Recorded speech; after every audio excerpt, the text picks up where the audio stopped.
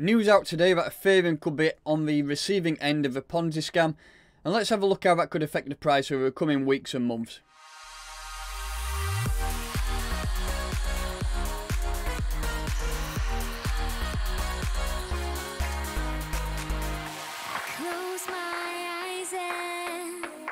Welcome to my channel. Please make sure you do like this video, subscribe to my channel, and let's have a delve into this news that was released yesterday about a potential new Ponzi scheme that could cause some havoc on the market. So, a trader fears that 200 million in Ethereum collected by new Ponzi could cause disaster and it does start off by talking about in 2019 there was another Ponzi scheme. You will have heard of it. It was the Plus Token um, scam, and it did manage to garner over 200 million dollars worth of deposits over a, a course of half a year and then disappeared. And then it has been in the news recently about the, the Plus Token scam that the, the Chinese authorities are dealing with it. So who knows where that money is, that two million, uh, two billion dollars, which could potentially again still be dropped on the market. We do not know. But I just say, unfortunately, here we have another large crypto scam on the scheme, and it, and it does run into this, and it's talking about a, a a scam called Forsage, and it does say that if you've been on ETH Gas Station or Etherscan, so Etherscan is the block explorer for Ethereum,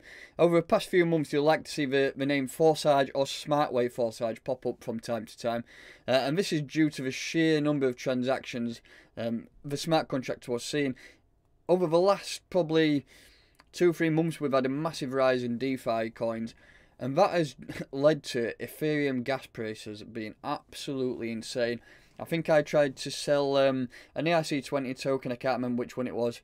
It was only around three, four hundred dollars, and the gas prices was around eighty dollars. And considering it's usually about fifty cent, that was absolutely ridiculous. And it has dropped down since. I think we have dropped down to back down to them levels where I was paying around one dollars but them levels was absolutely ridiculous. And it does say that although most in the industry ignored the, the Forsage name, it was recently revealed by Dovey Wan, a founder partner of Primitive Capital and um, crypto commentator, that is actually a Ponzi scheme, and that's what we do not want to hear. Something like that, somebody holding 200 million, uh, 200 million dollars, yeah, um, with the possibility of them dumping that could make some crazy scenes on the market. One does say that it's just your typical crypto pyramid scheme. It's nothing fancy, but it, it has managed to garner in $200 million. It is based in the Philippines, um, and Forsage has made such an impact that the SEC in the Philippines has issued a warning regarding it and other cryptocurrency scams that are operating in the region. It, one also does say that while most of the Western world are still unaware of Forsage, um, others fear that the collapse of a Ponzi could drive the crypto market and she doesn't mean down um up she means down. But if 200 million dollars gets dumped on the market all in one that's going to have such a big impact um, it will drive a lot of other altcoins down with it. And potentially if they dump it into uh if they dump it into bitcoin then again that will bring everything down with it. But as it as you can see on this graph we've been up to 480 dollars and we are already down 30 percent. So i mean they could be offloading it slowly but we just don't know. But we will have a look at the charts now to see um what could potentially happen uh, with regards to price action, um, and I'll give my spin on what I think could potentially happen due to this crazy world pandemic, and I do think that we're going to start to get some lower prices on things if Bitcoin manages to drop below $10,000. It's, it's holding up pretty well at the minute. So here we have Ethereum versus Tether. This is on the, the daily chart. I'm using Coinbase chart. We do have quite a lot of data on this. I already have pre-marked the all-time highs up, which was at around $1,420. And the last point I marked up was this. I think this was the area I was aiming for in the last few months. We, I was trying to aim to around um, $516, but we never made it. We did jump up to around $490, and we've we've been on a bit of a retracement ever since. But if you just look back in time a little bit to March 13th, we did drop Bitcoin had that that crazy drop here around 50 odd percent and then ever since then we've done a great run and if we just put that into a price from that bottom wick down there, if you load it up, if you manage to get some Ethereum at $89, then praise to you. And it we did shoot up all the way up to around 300 and what did we jump up to? Sorry, $399. So that's um sorry $489. We did jump up around 445%. So that's that's been a good move. And as you can see, we have started to, you could say it roll over. We got a double top on the daily time frame, and we are starting to turn over a bit. If we just put the the Hitman indicator on, this gives you a, an idea with market momentum. And and so far, ever since the 4th of April, 5th of April, we was bullish, and we was bullish for a long time. We was how many days, right? If we just put that as a, a date range from that date there, all the way up to current time, we was bullish for 148 days, so that's a long time. And now we did get a drop on the, what date was that? The 2nd of September. And ever since then, that gives a, a, a bear indicator on the daily time frame. And I do believe, due to that, I think that we're going to start to drop down. I do think we're going to drop. We have we have double top there. We are on a little bit of a relief rally now, but I, I honestly think it's superficial. I think it's. I don't think we're going to spin around um, and come back bullish. I just can't see it in my opinion. I think.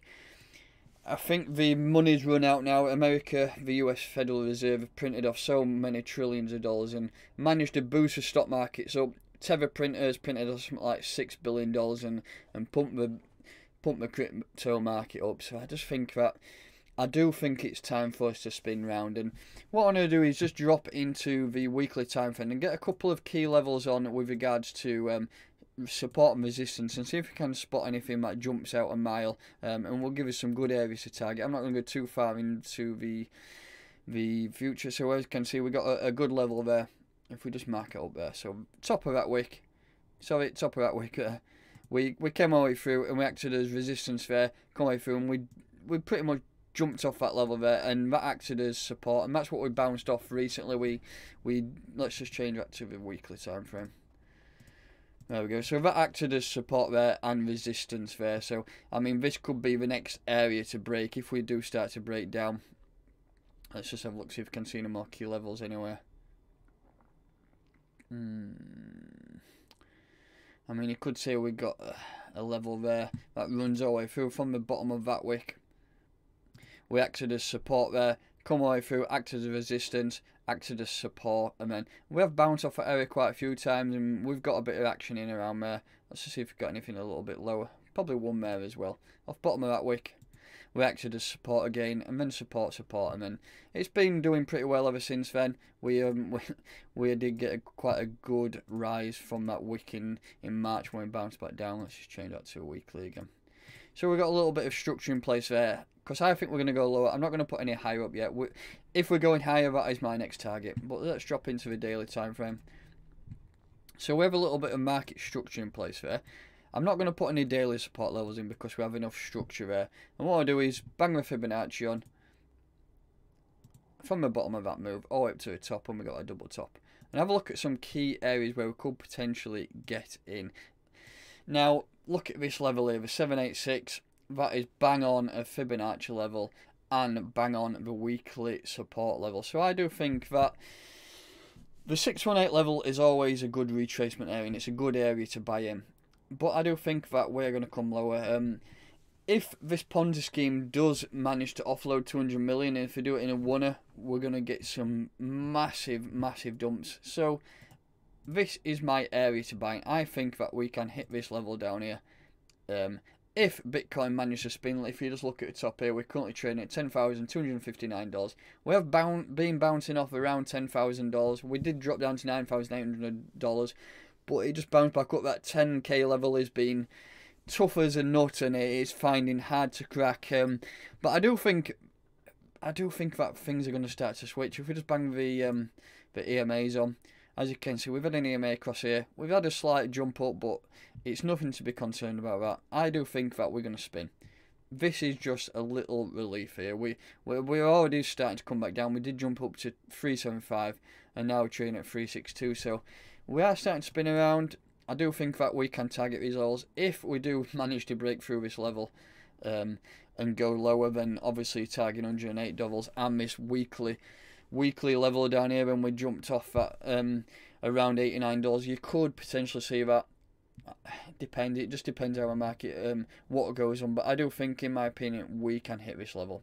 I'm not going to give any um, forecast with regards to price prediction because we need to flip this area. We need a big, large, bullish engulfing candle. We need to smash through 515. If we smash through 515 over the next coming weeks or month, I will be bullish. But currently, I'm bearish. I do think that this would be a great area to get in. Um, if we just put that in um, a Satoshi value, because if you, a lot of people do trade in Satoshis, I don't personally because I'm thick and I prefer to trade in I do prefer to trade in um, in dollars. If we just bang a Fibonacci on again from the lows of March, when did we have it? It was around there. We'll take that bottom body there, or up to the top. And we look at a 786 level around there. You're talking 24,000 sats. So if you're trading in if you're trading in um, satoshis then that would be a good area for you to get in but like i say i do trade in dollars and i think that that could be a good potential area have some orders in place, bang some orders down in them areas, and if they don't hit, then you've shit out, aren't you? If the if the market does start coming down and your orders are getting very close, then pull them orders um, and just wait a little bit and see if it's to start to come through and if it starts to push through that level then obviously going to target the next levels down here. So that is my take. We need to be wary that these ponzi schemes can dump all the money. 200 million dollars on this market will make a massive impact on the price of ethereum. And also that we are in a pandemic. We are in, in my opinion, going to drop at some point. We have the economies around the world starting to collapse. There's a lot of countries in a recession. And I just think that this move has been artificially pumped. Um, the DeFi bubble has absolutely helped us so much. There's been so much money into DeFi. And I don't think we're going to switch. So that will wrap it up for today's video. That's just my take on what could potentially happen with Ethereum and, and what happens if they dump. So thanks very much for listening. Please make sure you do like this video, subscribe to my channel, and I'll catch you next time.